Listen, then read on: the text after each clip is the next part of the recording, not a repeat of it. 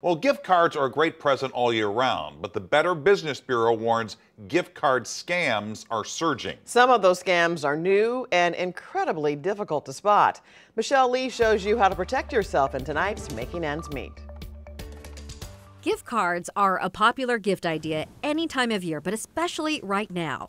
Scammers are increasingly targeting gift cards to steal from you. Gift card scam reports are up 50% for 2023 over 2022, and we're not even done with the year yet. The Better Business Bureau is reporting a surge in gift card scams, warning that scammers could be tampering with gift cards and stealing barcodes, or targeting online shoppers and asking them to pay with a gift card that's not from the retailer. That's a huge red flag.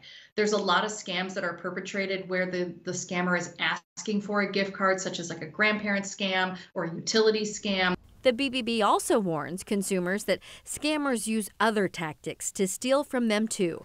Before you buy a gift card, here's what to look out for to avoid becoming a victim. First, check for stickers covering the barcode by running your finger over the back of the physical card. The stickers may contain a phony barcode, and when it gets scanned at checkout, you'll unwittingly be sending that cash to the scammer's account. Also, be careful of websites that check your card's balance.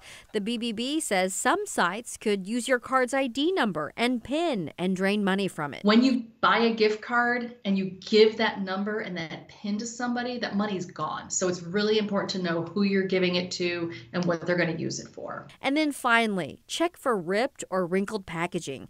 The BBB says thieves often remove gift cards from the display rack and record numbers linked to that card, including the activation pin.